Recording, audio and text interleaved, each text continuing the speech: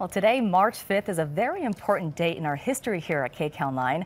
25 years ago tonight, we launched the three hours of news 8, 9, and 10. Well, back then, it was called Prime 9 News, and the main anchor was the legendary late Jerry Dunphy. And here's how it looked when that broadcast first began.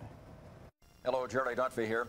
We want to welcome you to the premiere of Prime 9 News. It's an important night for us. We hope it will be for you, too. You're watching KCAL TV, Norwalk, Los Angeles, California 9.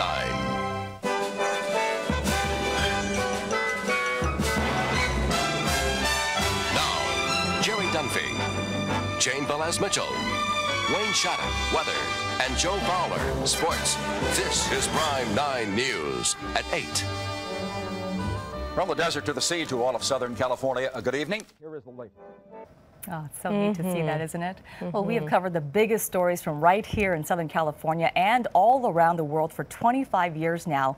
And we want to thank all of you for letting us be a part of your lives.